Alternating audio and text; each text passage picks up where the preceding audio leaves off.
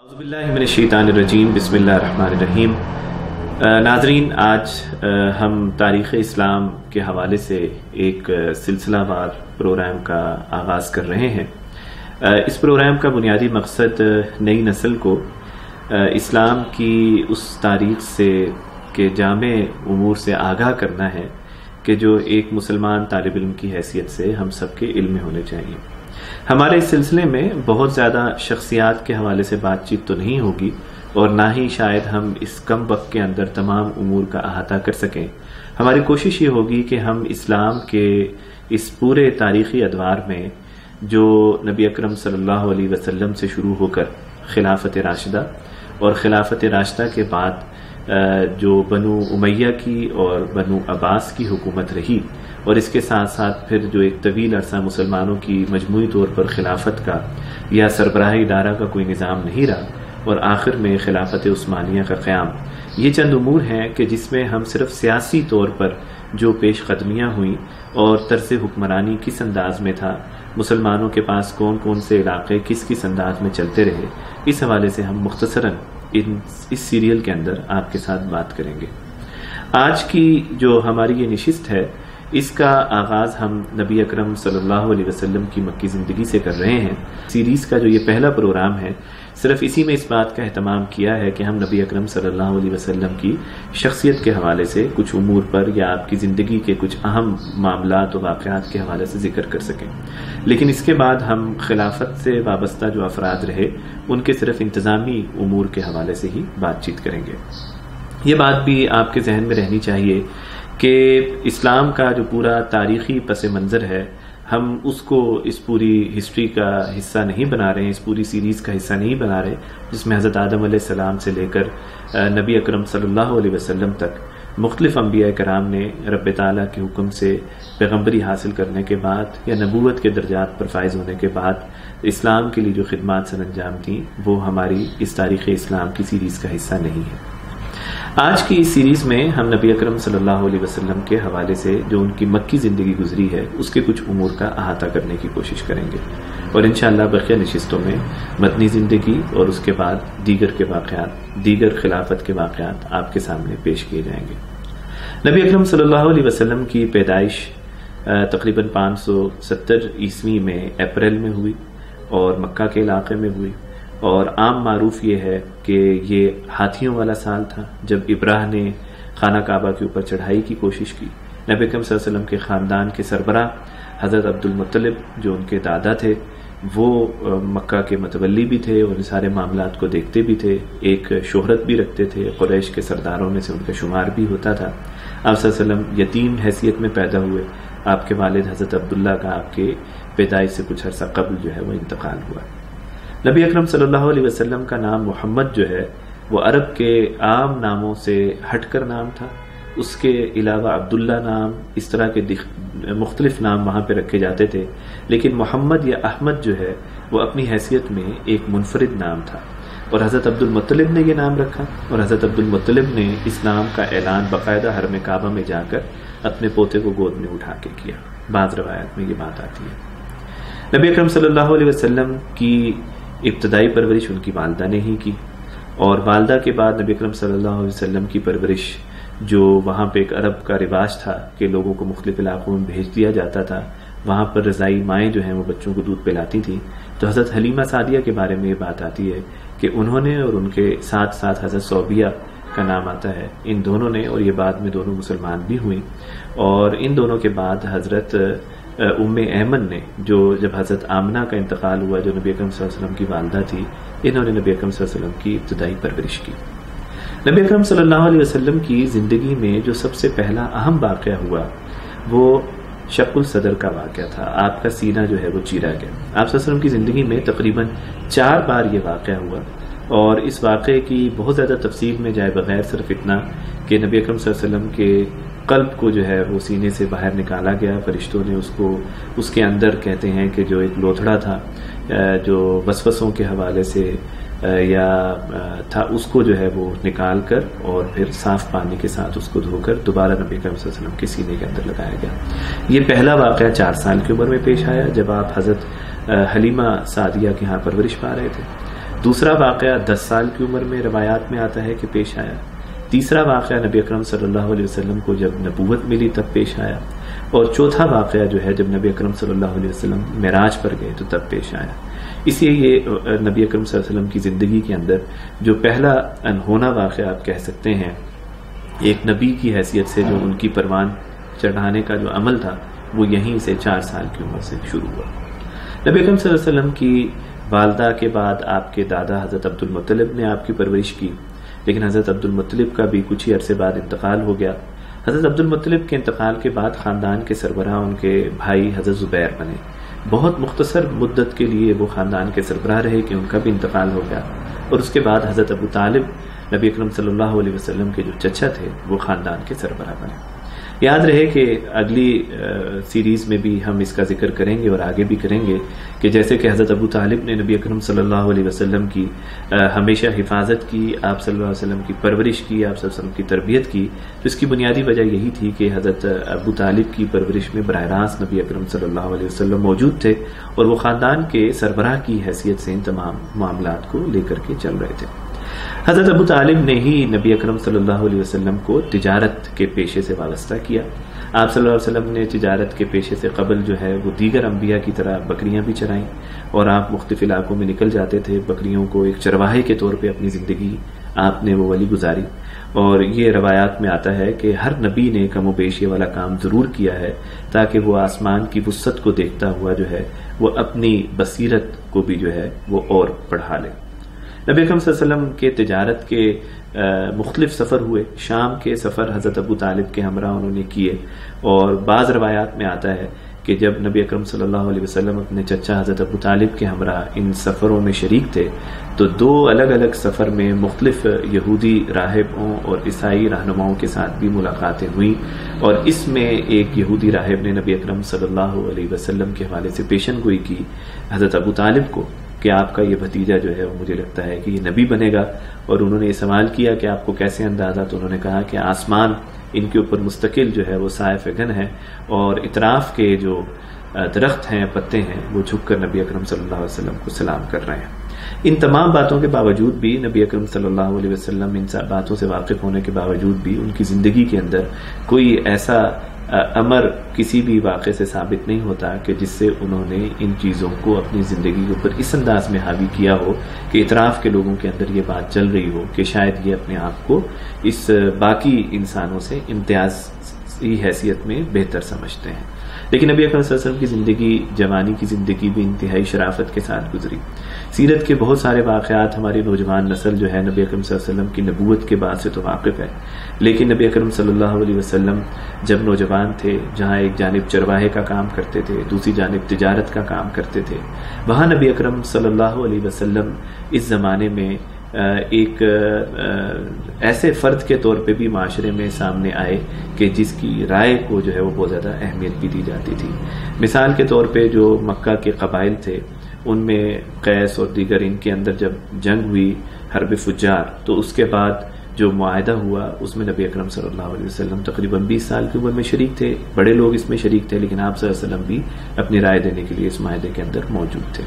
اس سے قبل مکہ کے اندر جو وہاں کی عرب کی جاہلیت پر مبنی روایات تھیں، لوگ برہنا ہو کے طواف کرتے تھے، بتوں کے سالانہ میلے سجائے جاتے تھے، شادی بیاہ کی تقریبات ہوتی تھیں۔ لیکن نبی اکرم صلی اللہ علیہ وسلم اولن تو ان سرگرمیوں میں شریک نہیں ہوتے تھے، لیکن دو روایات ایسی آتی ہیں جو غالباً چودہ یا پندرہ سال کی عمر میں نبی اکرم صلی اللہ علیہ وسلم ایک بار اپنے چچا کے ہمراہ اور ایک بار علاقے کے دیگر لوگوں کے ہمراہ ان بت پرستی کے سالانہ میلے میں جب شریک ہونے کے لیے گئے تو وہیں پر ہی نبی اکرم صلی اللہ علیہ وسلم کو نیند آ گئی اور آپ صلی اللہ علیہ وسلم جو ہیں وہ وہاں پر ایک طرح سے بے ہوش ہو گئے۔ یا یہ کہ نیند کی کیفیت میں چلے گئے اور کسی ایسے عمل میں شریک نہیں ہو سکے کہ جس سے یہ تاثر ملتا ہو کہ آپ کسی ایسی مجلس میں شریک تھے کہ جو وہاں کی روایات کے مطابق تھیں، لیکن نبی اکرم صلی اللہ علیہ وسلم کی شخصیت سے متعلق نہیں تھی۔ ناظرین، یہ ابتدائی دور تھا نبی اکرم صلی اللہ علیہ وسلم کا۔ اسی دور میں نبی اکرم صلی اللہ علیہ وسلم کا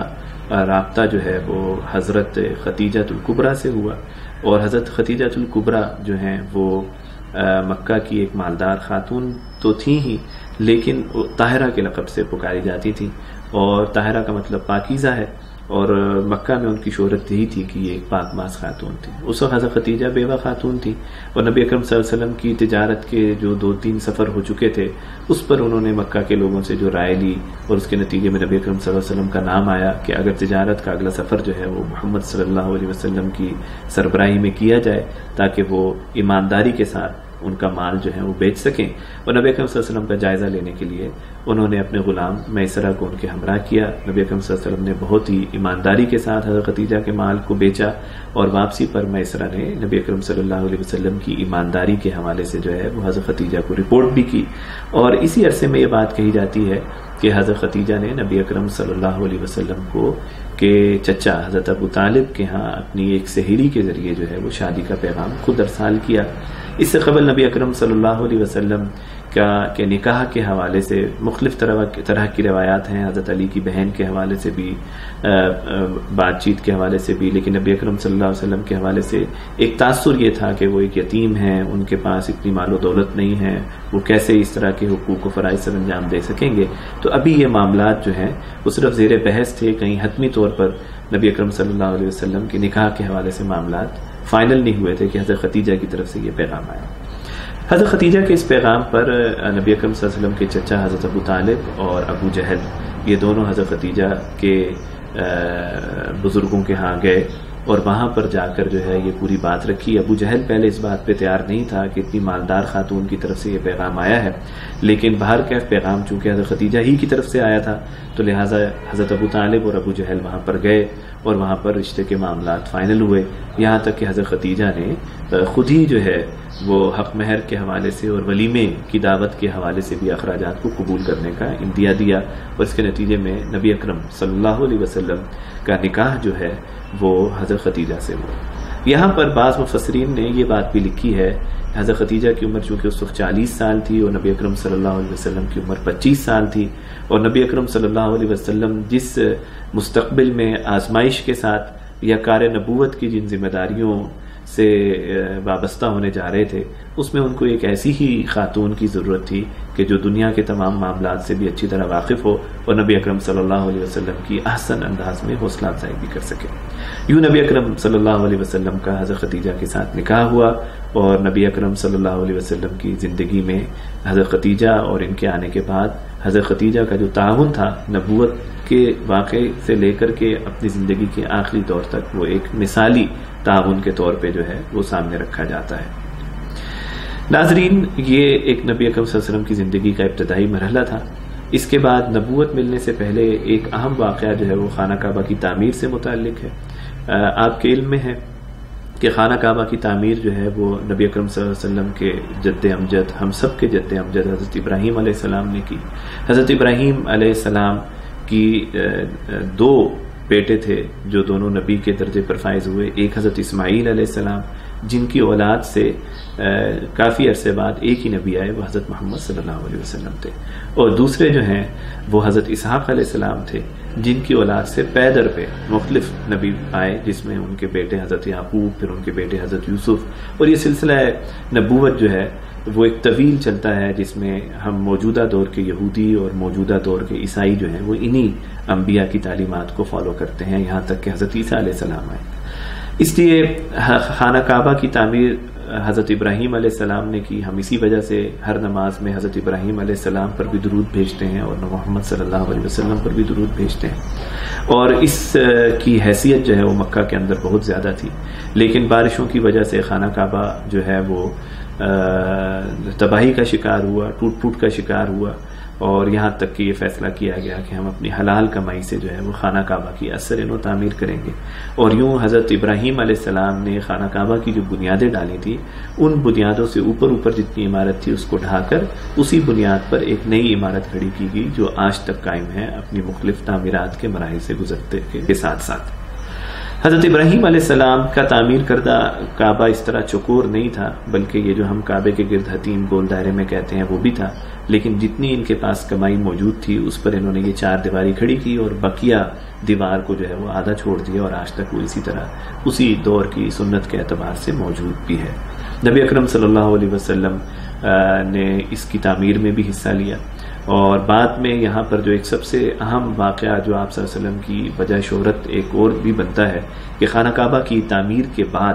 جو حجر اسود لگانے کا معاملہ آیا تو اس میں ہر قبیلے کی یہ خواہش تھی کہ وہ یہ کام کرے تو آپ صلی اللہ علیہ وسلم کی حکمت کے نتیجے میں وہ معاملہ احسن انداز میں حل بھی ہوا اور اس میں یہی تھا کہ اگلے روز جو سب سے پہلے پہنچے گا وہ اس معاملے کو حل کرے گا اور اس کو وہ حجر اسود لگائے گا۔ نبی اکرم صلی اللہ علیہ وسلم سب سے پہلے پہنچے، چادر لی اور آپ صلی اللہ علیہ وسلم نے تمام قریش کے قبائل کے سربراہان کو یہ عزت دی کہ وہ اپنی چادر پکڑ کے آگے تک جائیں اور آپ صلی اللہ علیہ وسلم نے اس کو دیوار میں پیوست کیا۔ یہ تقریباً نبی اکرم صلی اللہ علیہ وسلم کی زندگی میں چونتیس پینتیس سال کی عمر میں تقریباً یہ واقعہ ہوا۔ اس کے بعد آپ صلی اللہ علیہ وسلم کا زیادہ وقت جو ہے وہ پہاڑوں پر گزرا۔ غار ہرا میں گزرا۔ آپ صلی اللہ علیہ وسلم رب تعالیٰ کی پہچان کے لیے، اپنے رب کو جاننے کے لیے، اس دنیا کے معاملات پر غور و فکر کرنے کے لیے، اور وہ جو پوری ایک فکر نبی اکرم صلی اللہ علیہ وسلم کی زندگی میں مثبت فکر تھی، وہ ایک منطقی انجام تک پہنچنے جا رہی تھی۔ یہاں تک کہ چالیس سال کی عمر میں نبی اکرم صلی اللہ علیہ وسلم نبوت کے منصب پر جو ہے وہ فائز ہوئے۔ آپ صلی اللہ علیہ وسلم کی زندگی میں یہ سب سے اہم واقعہ تھا، یقیناً نبی بننا۔ یہاں حضرت جبرائیل علیہ السلام کا آنا قرآن کی ابتدائی آیات کا نزول ہونا، اس کے نتیجے میں حضرت ختیجہ کی طرف سے آپ کی مدد کرنا، آپ کو حوصلہ دینا اور پھر اپنے رشتہ دار کے پاس جانا اور وہاں پر جو ہے ان سے یہ پیغام لینا جو ان کے ورقہ بن نوفل کے پاس گئے، جو حضرت ختیجہ کے رشتہ دار تھے، جنہوں نے یہ پیشن گوئی کی کہ نبی اکرم صلی اللہ علیہ وسلم جو ہیں وہ یقیناً یہ جو سارا عمل ہے، یہ نبی بننے کا عمل ہے، اور ایک وقت ایسا آئے گا کہ جب مکہ کے لوگ جو ہیں، وہ نبی اکرم صلی اللہ علیہ وسلم کو یہاں سے نکال باہر کریں گے، جس پہ آپ صلی اللہ علیہ وسلم نے بڑے تعجب سے یہ بات پوچھی تھی کہ کیا ایسا ہوگا؟ تو انہوں نے کہا کہ ہاں ہر نبی کے ساتھ اسی طرح ہوا ہے۔ یوں نبی اکرم صلی اللہ علیہ وسلم نبوت کے منصب پر فائز ہوئے۔ ابتدائی طور پر آپ کی دعوت، خفیہ دعوت رہی۔ آپ کے دوست حضرت بکر صدیق آپ پر ایمان لائے، حضرت ختیجہ آپ پر ایمان لائیں۔ اس کے بعد پھر ایک اوپن دعوت کا سلسلہ شروع ہوا۔ مکہ کے تمام افراد کو دعوت دی گئی۔ آپ کی اس دعوت کے نتیجے میں قریش مکہ جو ہے وہ کافی غضبناک ہوئے۔ اور حضرت ابو طالب سے کئی بار اس بات کا تقاضا کیا کہ وہ اپنے بھتیجے کو ہمارے سپرد کریں، یا یہ کہ ان کا بھتیجا اس دعوت سے رک جائے، یا یہ کہ مکہ کے اندر جو ہے وہ ہمارے بتوں کو کچھ نہ کہ یا با استاد کے مذہب کو کچھ نہ کہ لیکن جب یہ سارا عمل نہیں ہوا، تو پھر شاب ابی طالب میں آپ کے خاندان کو دو سال کے لیے محصور کیا گیا۔ یہ تاریخ کی پہلی بڑی واضح آزمائش ہے جو نبی اکرم صلی اللہ علیہ وسلم کو نبی بننے کے بعد ملی۔ اور تقریباً دو سال وہاں پہ مقیم رہے۔ اس دوران کہا جاتا ہے کہ یہاں ایسی نوبت بھی آئی کہ جب کھانے پینے کو کچھ نہیں تھا، لیکن یہ روایات بھی موجود ہیں کہ حضرت ختیجہ کے غلام یا نبی ان کے کزنس کچھ تھے جن کے نام آتے ہیں تاریخ کے اندر حضرت ختیجہ کے رشتہ داروں کے، کہ جو کسی نہ کسی طرح کچھ وقت گزرنے کے بعد وہاں دودھ یا کھانے پینے کی اشیاء کو جو ہے وہ فراہم کرنے کی کوشش کیا کرتے تھے۔ نبی اکرم صلی اللہ علیہ وسلم کی زندگی اس آزمائشی سفر کے ساتھ آگے بڑھتی ہے اور یہاں پر جو ایک اہم واقعہ نبی اکرم صلی اللہ علیہ وسلم کی زندگی میں ہے کہ جب شق القمر کا واقعہ بھی کچھ عرصے بعد ہوتا ہے کہ جس میں چاند کے دو حصے ہونے کا واقعہ، یہ بڑا معروف واقعہ ہے۔ اس کے علاوہ جب قریش مکہ نے نبی اکرم صلی اللہ علیہ وسلم کو اس دعوت سے باز رکھنے کے لیے بہت ساری آفرز کی کہ وہ مکہ کی سربراہی لے لیں پسندیدہ خاتون سے شادی کر لیں، مال و دولت لے لیں، لیکن آپ صلی اللہ علیہ وسلم نے کسی اس چیز کو قبول نہیں کیا، بلکہ آپ صلی اللہ علیہ وسلم کے تاریخی الفاظ تھے کہ اگر میرے ایک ہاتھ پہ چاند اور میرے ایک ہاتھ پہ سورج بھی لا کے رکھ دیا جائے تو میں کبھی اس دعوت سے باز نہیں آؤں گا۔ تو یہ ایک استقامت تھی نبی اکرم صلی اللہ علیہ وسلم کی زندگی میں۔ ابھی آپ صلی اللہ علیہ وسلم کی حلقہ اثر نہیں بڑھا تھا، حلقہ احباب نہیں بڑھا تھا، صحابہ کی تعداد نہیں بڑھی تھی۔ ایک انہونی چیز مشرق معاشرے کے اندر پیش کر رہے تھے اور مقابلے میں مضبوط سردار تھے اور ان سب کے مقابلے میں نبی اکرم صلی اللہ علیہ وسلم تن، تنہا جو ہے اپنے خاندان کے، اپنے قبول کرنے والے چند افراد کے ہمراہ جو ہے اس معاملے کو لے کر کے چل رہے تھے۔ نبی اکرم صلی اللہ علیہ وسلم کی زندگی میں جو سب سے آزمائشی دور اس پورے عرصے کے اندر آیا کہ تقریباً نبوت کے نویں، دسویں سال جو ہے، وہ حضرت ختیجہ کا انتقال ہوا اور یہ کے بعد دیگر حضرت ابو طالب اور حضرت ختیجہ کا انتقال ہوا۔ اور یہ دونوں ایسی شخصیات تھیں کہ جو نبی اکرم صلی اللہ علیہ وسلم کو حوصلہ دیتی تھی اور نبی اکرم صلی اللہ علیہ وسلم کے اس حوصلے کے ٹوٹنا کہہ لیجیے یا پست ہونا کہہ لیجیے کہ آپ صلی اللہ علیہ وسلم میں غم کی کیفیت میں بھی رہے۔ حضرت ختیجہ ویسے ہی آپ کی شریک حیات تھی۔ اور حضرت ابو طالب خاندان کے سربراہ کی حیثیت سے آپ کو جو تحفظ دیتے تھے، وہ پھر اب جو ہے وہ ملنا ممکن نظر نہیں آ رہا تھا۔ یہ بات آپ کے علم میں یقیناً ہوگی کہ حضرت عبد المطلب اور اس کے بعد ان کے بھائی حضرت زبیر اور اس کے بعد طویل عرصہ حضرت ابو طالب خاندان کے سربراہ رہے اور حضرت ابو طالب کے انتقال کے بعد خاندان کے سربراہ ابو جہل بنے۔ اور ابو جہل نے یہ جب خاندان کے سربراہ بنے تو اصل مقابلہ نبی اکرم صلی اللہ علیہ وسلم کا ابو جہل کی جہالت اور سرداران قریش کے ساتھ تھا جو ابو جہل کے ساتھ تھے۔ اور یہی وجہ تھی کہ نبی اکرم صلی اللہ علیہ وسلم پھر طائف کے سفر پر روانہ ہوئے۔ طائف کے سفر کی دونوں نیتیں تھیں۔ ایک تو یہ کہ دعوت دین وہاں پر پہنچائی جائے اور دوسری یہ تھی کہ وہاں معاملات کا جائزہ لے کر وہاں پر قیام کی جو ہے وہ کوشش کی جائے، کیونکہ اب مکہ میں نبی اکرم صلی اللہ علیہ وسلم کا مزید رہنا جو ہے وہ ناممکن ہو گیا تھا۔ اسے نبی اکرم صلی اللہ علیہ وسلم نے طائف کا سفر کیا اور آپ کے غلام بھی ساتھ تھے اور وہاں پر نبی اکرم صلی اللہ علیہ وسلم براہ راست سرداران طائف کے پاس گئے تھے۔ صرف اس لیے کہ وہ اپنی دعوت کو پیش کر کے وہاں پر اس کو جانتے ہوئے کہ وہ اس پہ کیا رد عمل دیتے ہیں، اس کے نتیجے میں وہاں پر مستقبل کے اندر جو ہے وہ اپنی رہائش کا بندوبست کر سکیں۔ اور لیکن یہ بات سب بخوبی جانتے ہیں کہ سرداران طائف نے نبی صلی اللہ علیہ وسلم کی دعوت کو نہ صرف قبول نہیں کیا، بلکہ آپ صلی اللہ علیہ وسلم جب وہاں دربار سے باہر نکلے تو اوباش نوجوانوں کو پیچھے لگایا۔ اور یہاں تک کہ نبی اکرم صلی اللہ علیہ وسلم کو لہو لہان کر دیا اور آپ صلی اللہ علیہ وسلم نے ایک پہاڑ پر ایک باغ میں جا کے جو ہے وہ بنا لی اور آپ صلی اللہ علیہ وسلم یہاں سے آپ کی زندگی کے اندر جو ہے وہ ایک نبوت کے اندر بھی ایک زندگی کے اندر ایک نیا موقع پیدا ہوتا ہے کہ جس میں آپ صلی اللہ علیہ وسلم آزمائشوں کے ساتھ ساتھ رحمتوں کے ایک سفر کے اندر بھی منتقل ہوتے ہیں۔ یہاں پر آپ صلی اللہ علیہ وسلم نے ایک دعا بھی کی تھی جو بعض مفسرین نے لکھی ہے اور اس دعا کے حوالے سے اس کے مفہوم یہی ہے کہ آپ صلی اللہ علیہ وسلم نے اللہ کو یہ بات کہی تھی کہ اللہ، یہ میرے ساتھ کس طرح کا عمل ہو رہا ہے اور میں تو تیرے دین کی دعوت لے کر نکلا ہوں۔ لیکن اس دعا میں شکوہ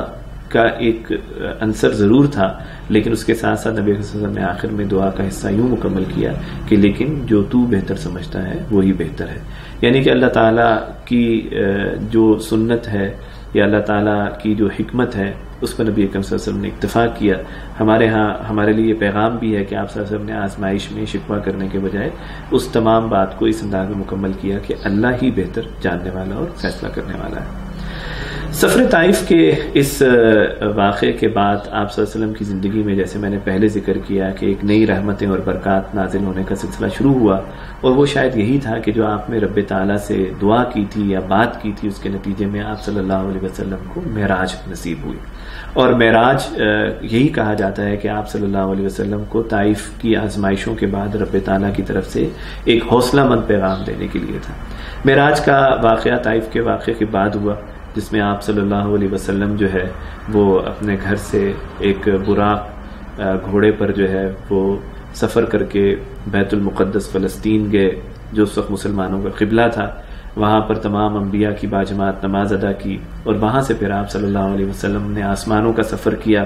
اور پہلا آسمان، دوسرا آسمان، یہاں تک کہ ساتوں آسمانوں کا سفر کیا اور آخر میں رب تعالیٰ سے ہم کلام بھی ہوئے۔ یہ وہ موقع تھا کہ جب آپ کو جنت اور دوزخ کے پورے تصور اور انبیاء سے ملاقاتوں کا ایک پورا سلسلہ مکمل کیا گیا، نمازیں بھی اسی عرصے کے اندر فرض ہوئی اور نبی اکرم صلی اللہ علیہ وسلم واپس اپنے گھر تشریف لائے۔ اسی موقع پر کسی نے حضرت ابو بکر صدیق رضی اللہ تعالیٰ عنہ کو کہا کہ آپ کا دوست کیسی بات کر رہا ہے کہ وہ بیت المقدس گیا تھا اور آسمانوں پر ہو کر آیا۔ تو ابھی حضرت ابو بکر صدیق ان باتوں سے واقف نہیں تھے، یا نبی اکرم صلی اللہ علیہ وسلم سے اس سفر کے بعد کوئی ملاقات نہیں ہوئی تھی۔ تو حضرت ابو بکر نے اس موقع پر یہ کہا تھا کہ اگر یہ بات محمد صلی اللہ علیہ وسلم نے کہی ہے تو یقیناً وہ سچ کہہ رہے ہیں۔ اور یہی وجہ ہے کہ نبی حضرت ابو بکر صدیق کو اس کے بعد صدیق کا جو ہے وہ لقب ملا اور جو ہمیشہ آپ رضی اللہ تعالیٰ عنہ کے ساتھ رہا۔ نبی اکرم صلی اللہ علیہ وسلم کی زندگی میں یہ مکی دور کے کچھ ایسے واقعات تھے کہ جن کے ساتھ آپ صلی اللہ علیہ وسلم نبوت کے سفر کو لے کر کے آگے چل رہے تھے، یہاں ایک واقعہ ہجرت ابشا کا بھی ذکر کیے دیتا ہوں کہ جب آزمائشیں بڑھی خود نبی اکرم صلی اللہ علیہ وسلم، حضرت ابو بکر صدیق کے اوپر بھی تشدد ہوا اور بہت سارے ایسے واقعات ہیں کہ صحابہ کرام کہ جن کے ہاں غلام تھے یا ان کے خاندان کے جو سربراہ تھے، انہوں نے اس دین کی دعوت کو قبول کرنے کی وجہ سے ان کو سزائیں دیں۔ اس کے نتیجے میں ہجرت حبشہ جو ہے، وہ مسلمانوں کی پہلی ہجرت ہوئی تھی اور اس کو حضرت جعفر تیار نے لیڈ کیا تھا۔ اور یہ ایک لحاظ سے کامیاب ہجرت تھی کہ وہاں کے بادشاہ نے ان کو نہ صرف قبول کیا تھا، بلکہ عزت اور اکرام بھی دیا تھا۔ بعد میں جب نبی اکرم صلی اللہ علیہ وسلم نے مدینہ کی جانب ہجرت کی تھی، تو یہ افراد حبشہ سے ہجرت کر کے یہ افراد بھی جو ہے وہ مدینہ کی جانب آ گئے تھے۔ یہ جو پورا عمل ہے معراج کے واقع تک کا، اور اس کے بعد اسلام کی دعوت کے اندر غیر معمولی پیش رفت ہوئی، برکات نازل ہوئی۔ آپ صلی اللہ علیہ وسلم اندھیری راتوں میں بھی نکل کے اسلام کی دعوت دیتے تھے۔ جو لوگ حج کرنے کے لیے آتے تھے، کعبہ کا طواف کرنے کے لیے آتے تھے، راتوں کو نکل کر ان کو دعوت دیتے تھے۔ یہاں راتوں کو نکلنے کی اندر بھی ایک حکمت تھی کہ دن میں آپ صلی اللہ علیہ وسلم پر وہ آزمائشیں تھیں۔ کہ ابو جہل کی طرف سے اور خاندان کے دیگر افراد کی طرف سے یا علاقے کے سرداروں کی طرف سے کہ آپ صلی اللہ علیہ وسلم دن میں کل کر دین کی دعوت کا کام نہیں کر سکتے تھے۔ اور اسی حکمت کے تحت آپ صلی اللہ علیہ وسلم رات کے اندھیرے میں نکل کر جہاں موقع ملتا تھا وہاں پر بات کرتے تھے۔ لیکن یہ بھی ایک دلچسپ بات ہے کہ آپ صلی اللہ علیہ وسلم کے خلاف اتنا پروپیگنڈا ہو جاتا تھا کہ آپ صلی اللہ علیہ وسلم کے پہنچنے سے پہلے ہی دیگر علاقوں سے آنے والے حجاج کو آپ صلی اللہ علیہ وسلم کی دعوت یا آپ صلی اللہ علیہ وسلم کی شخصیت کے حوالے سے پتہ چل جاتا تھا۔ اور اس میں کچھ لوگ تجسس میں آپ کی بات سنتے تھے، کچھ جو ہے وہ دل کے ساتھ بات سنتے تھے اور اس کے نتیجے میں کئی لوگ مسلمان بھی ہوئے۔ یہاں پر آپ صلی اللہ علیہ وسلم کی زندگی میں جو ایک نیا موڑ آتا ہے وہ جہاں پر اسلام پھیلنے لگتا ہے اور لوگوں تک بات پہنچنے لگتی ہے وہاں پر جو یسرف سے کچھ لوگ جو ہیں وہ سفر کر کے آتے ہیں اور یہاں پر نبی اکرم صلی اللہ علیہ وسلم کی ان سے ملاقات ہوتی ہے اور اس حج کے موقع پر ان سے ملاقات میں وہ لوگ اسلام قبول کرتے ہیں، واپس جاتے ہیں، پھر اگلے سال آتے ہیں اور پھر بڑی تعداد میں لوگوں کو لے کر آتے ہیں۔ نبی اکرم صلی اللہ علیہ وسلم اس دوران حضرت مصب بن عمیر کو ان کا استاد بنا کر ان کے ساتھ روانہ بھی کرتے ہیں۔ اور یوں یسرف میں اسی حج کے موقع پر دعوت کے نتیجے میں اسلام کی دعوت پہنچتی ہے۔ اور یہ قبیلہ جو ہے، وہ خود بھی ایک آزمائش میں ہوتا ہے یسرف میں اوس اور خزرت کے جو قبائل تھے، وہ آزمائش میں تھے، لڑتے تھے۔ یہاں تک کہ وہ نبی اکم صلی اللہ علیہ وسلم کو اس بات کی دعوت دیتے ہیں کہ وہ مدینہ آ کر اپنی زندگی بسر کریں اور اسلام کی یہ ساری تعلیمات کہ جو وہ یہاں میں پیش کر رہے ہیں، اس کا عملی مظاہر جو ہے، وہ مدینہ میں آ کے پیش کریں۔ آپ صلی اللہ علیہ وسلم، اللہ تعالیٰ کی طرف سے ہجرت کی اجازت کے منتظر تھے اور آپ صلی اللہ علیہ وسلم کو جیسے ہی رب تعالیٰ کی طرف سے ہجرت کی اجازت ملی تو آپ صلی اللہ علیہ وسلم نے حضرت ابو بکر صدیق کے ہمراہ مکہ سے مدینہ کا سفر کیا۔ مکہ سے مدینہ کا یہ سفر کیسے ہوا؟ اس پر انشاءاللہ ہم مختصراً اگلی نشست کے اندر بات چیت کریں گے۔ تب تک کے لیے میں آپ سے اجازت چاہوں گا۔ انشاءاللہ ہمارا یہ سلسلہ کلام تاریخ کے، اسلام کے اہم سیاسی امور پر جاری رہے گا۔ تب تک کے لیے اجازت، وآخر دعوانا الحمد للہ رب العالمین۔